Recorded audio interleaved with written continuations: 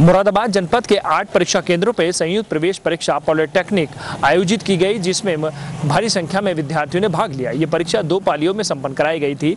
Corona महामारी को ध्यान में रखकर सभी सुरक्षा के बातों को ध्यान में रखकर परीक्षाएँ संपन्न कराई गई। जनपद मुरादाबाद में शनिवार को संयुक्त प्रवेश परीक्षा पॉलिटेक्निक आयोजित की गई। मुरादाबाद में आयोजित परीक्षा के लिए आठ परीक्षा केंद्र बनाए गए थे। परीक्षा दो पारियों में संपन्न कराई गई, जिसमें सुबह की पाली में आठ परीक्षा केंद्र शामिल थे और शाम की पाली में दो परीक्षा केंद्र शामिल किए गए थे। परीक्षाओं के मद्देनजर हर केंद्र पर सुरक्षा व्यवस्था के पुख्ता इंतज़ाम किए गए थे। महामारी को ध्यान में रखकर सरकार और प्रशासन की दी गई गाइडलाइन के अनुसार हर परीक्षा केंद्र पर सैनिटाइजर, मास्क और शारीरिक दूरी का ख्याल भी रखा गया। इस अवसर पर यह भी बताया गया कि परीक्षाओं के मद्देनजर सभी तैयारियों को पहले ही पूर्ण कर लिया गया था। संयुक्त प्रवेश परीक्षा 2020 लर्निंग में प्रवेश के लिए मुरादाबाद में आठ केंद्रों पर आयोजित है।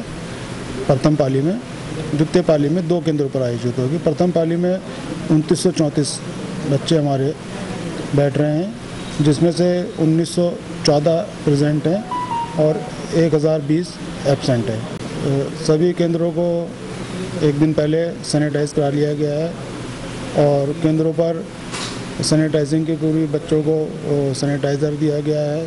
केंद्र पर एक एक बच्चे का हुआ है और उनकी थर्मल स्कैनिंग हुई है। और यदि कोई बच्चा किसी सेंटर पर कोरोना लक्षण से संक्रमित है तो एक आइसोलेशन रूम हर सेंटर पर बनाया गया है। उस बच्चों को अलग बैठाने की व्यवस्था है। लेकिन अभी तक कोई ऐसी हमारे पे सूचना नहीं है कि किसी केंद्र पर कोई संक्रमित बच्चा जो जिसके लक्षण प्रतीत होते हों परीक्षा में बैठा हो।